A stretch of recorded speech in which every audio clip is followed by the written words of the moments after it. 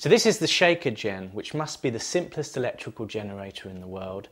It's made out of a plastic film can, some insulated copper wire and a very, very strong magnet. So this is the 35mm film can and uh, I've cut some cardboard circles which we're going to use as the former to hold the wire onto the uh, film cam.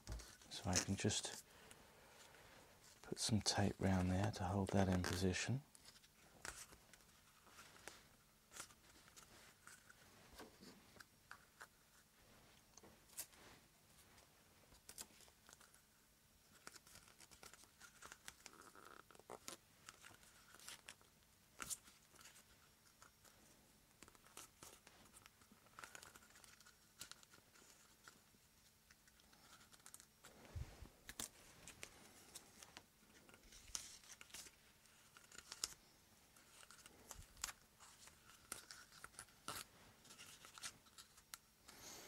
So now what we've got is a very simple little area to wind the wire around.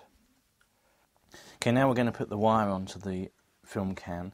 So we've got obviously the beginning of the wire we'll need at the end. So I'm just going to put the beginning of the wire into the film can to keep it safe because we don't want to lose those the precious beginning. And then I just start winding the wire onto the bobbin. 5, 6, 7, 8, 9, 10, 11, 12, 13, 14, 15, 16.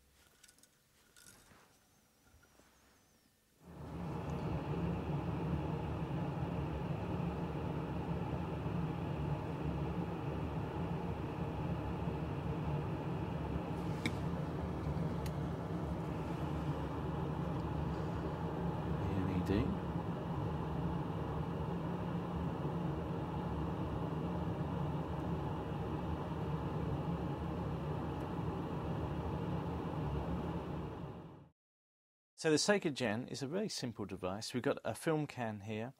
We put some cardboard circles onto it, and that allows us to wire the, the turns of wire onto it. We've got about between 500 and 1,000 turns of wire, and then connected it up to the little bulb, the LED. And then simply we get a magnet, we put the magnet into the can, put the lid back on, and if we shake it, you can see there's the magnet goes through the turns of wire.